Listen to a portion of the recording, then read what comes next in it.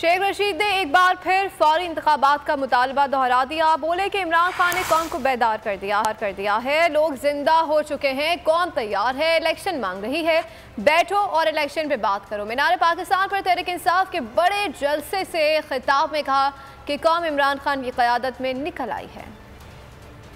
कौम इमरान खान के साथ है। कौम को बेदारी दी है इमरान खान ने। सब लोगों को कहना चाहता हूँ, समझो, ज़िंदा हो चुका है, कौम तैयार है। इसके बावजूद हम चाहते हैं, आओ बैठो इलेक्शन का फैसला करो।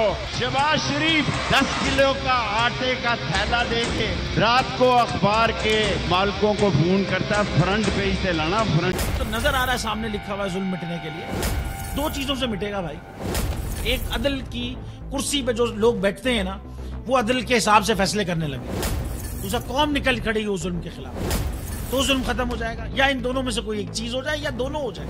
अगर चार सौ बीसी का मुकदमा था, उस वक्त अदलिया में जो लोग बैठे हुए केस देख रहे थे, वो पूछते ना, यार, चीट हुआ कौन है? जब उनको दिखता कोई चीट नहीं हुआ, केस खत्म कर देते। तो जालिम जुल्म कर ही नहीं पाता। नौ जजेज ने नोट बिफोर किया मेरे केस को, यार, डेढ़ साल चला। शख्सी जमानत का केस। सेम केस इस्लामाबाद में कर दिया। एक एक ही इल्ज़ाम पे दो केस हो नहीं सकते भाई। मतलब साठ दिन का वक्त होता है 102 दिन के बाद मैं जीत गया केस भरी हो गया 102 दिन के बाद अपील फ़ाइल की। एक्सेप्ट कर ली। नहीं करते ना एक्सेप्ट खत्म हो जाता ना जुल्म यार। भरी अदालत में मुझे बरी कर दिया।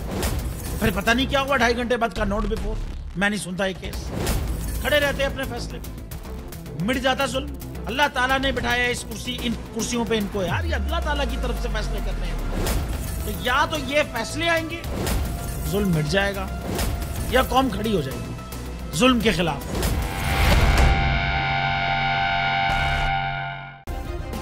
सब्सक्राइब करें और बेल दबाएँ ताकि कोई खबर रह न जाए।